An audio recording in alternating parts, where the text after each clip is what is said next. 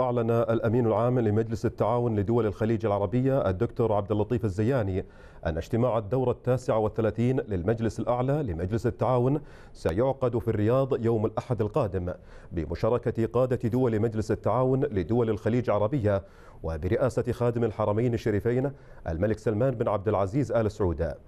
وأعرب الزياني عن فخره واعتزازه بتكليفه من خادم الحرمين الشريفين بنقل الدعوة الكريمة إلى إخوانه أصحاب الجلالة والسمو قادة دول المجلس للمشاركة في اجتماع الدورة التاسعة والثلاثين للمجلس الأعلى لمجلس التعاون.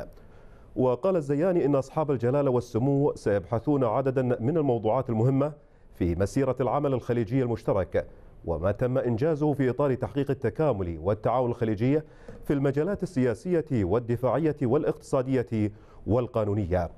وأضاف الزياني أن أصحاب الجلالة والسمو سينظرون في التقارير والتوصيات المرفوعة من قبل اللجان الوزارية المختصة والأمانة العامة كما سيبحثون أيضا آخر التطورات السياسية الإقليمية والدولية ومستجدات الأوضاع الأمنية في المنطقة.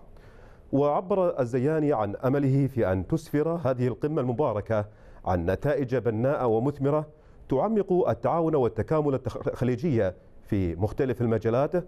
وتحقق تطلعات مواطنيها لمزيد من التكاتف والتلاحم والتآزر لمواجهة التحديات كافة والحفاظ على أمن واستقرار دول المجلس والمنطقة.